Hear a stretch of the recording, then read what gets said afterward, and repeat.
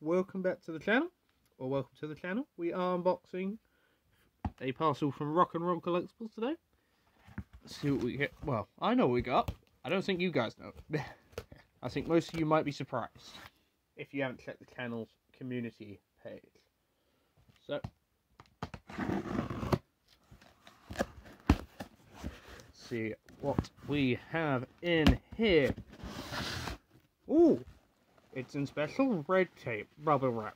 I've never seen red bubble wrap before. Oh, it's like a pinkish to you. To me, it's red. So, first figure is Penta Obscuro from AEW Unmatched Series 8. If you missed the poll, I did do a poll between him, between this whole set, as you can see. Uh, so, you lot decided that CM Punk will be the first figure to be reviewed in this set, followed by Malachi Black, followed by Brody King. So, there is Penta El Obscuro.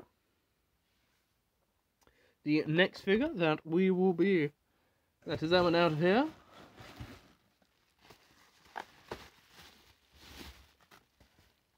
Again, from Unmatched Series A is Malachi Black in his lovely attire here. I believe this one he was still feuding with Cody.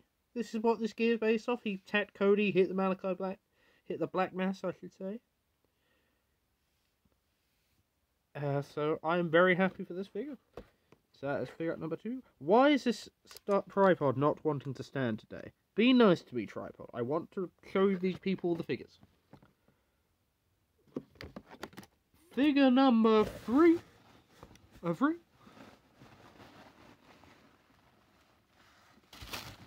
There is a bird of just rubble wrap in here as well. We have Brody King. Uh, let me try and get this better looking.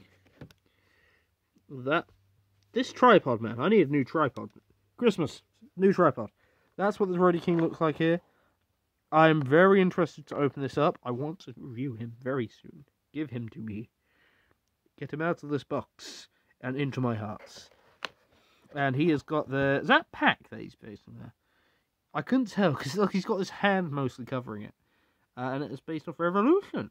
I think it's the first pay-per-view game set, is it? Yeah, Dynamite, Dynamite, Revolution. Okay.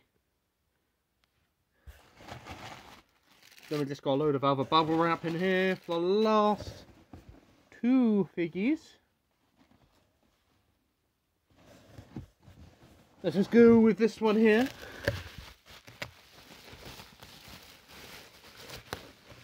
Ooh, Buddy Matthews. Buddy Matthews, very nice looking figure here. Again, absolutely love these heads, interchangeable heads masks.